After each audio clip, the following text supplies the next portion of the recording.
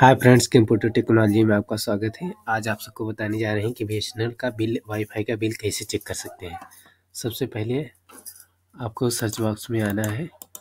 वहाँ पे वेबसाइट का नाम लिखना है self care B S N L dot C O dot in इसके बाद आपको इंटर कर देना है। इंटर करने के बाद अब यहाँ पे आपको यूज़र नेम और पासवर्ड डालेंगे। इसके बाद यहाँ पे यूज़र नेम में अपना जो यूज़र आईडी बनाए रहेंगे, उसे लिखेंगे।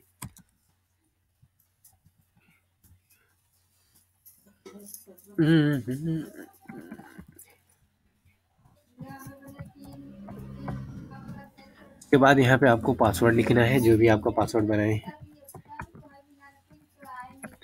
इसके बाद यहाँ पे आपको कैप्चा कोड डालना है, जो भी यहाँ कैपिटल में लिखा गया है, उसे आप लिखेंगे।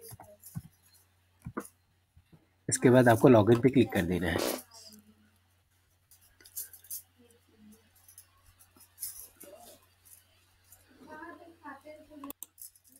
इसके बाद आपको यहाँ पे जो रजिस्टर मोबाइल है, वहाँ पर ओ जाएगा। ओ आप यहाँ से इंटर करेंगे। इसके बाद आपको सबमिट पे क्लिक कर देना है। सबमिट पे क्लिक करने के बाद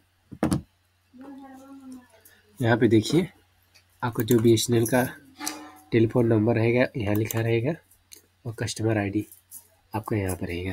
तो हमें बिल चेक करना है तो हमने यहाँ पे बिलिंग अकाउंट नंबर पे क्लिक कर देना है।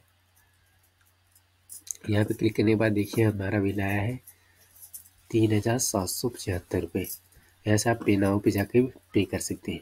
तो हमें बिल चेक करना है तो यहाँ पे व्यू बिल पे क्लिक करेंगे, जो आप पिछला पेमेंट कटाए रहेंगे, उसका रसीद देख सकते हैं। उसके बाद देखिए, यहाँ पे आने के बाद देखिए, हमने जितना बिल पेमेंट किया है, यहाँ पे बिल का डेट लिखा रहे। अब जैसे हमें डाउनलोड करना है रसीद तो यहाँ पे डाउनलोड बिल पे क्लिक कर देंगे। यहाँ से डाउनलोड पे क्लिक कर देंगे।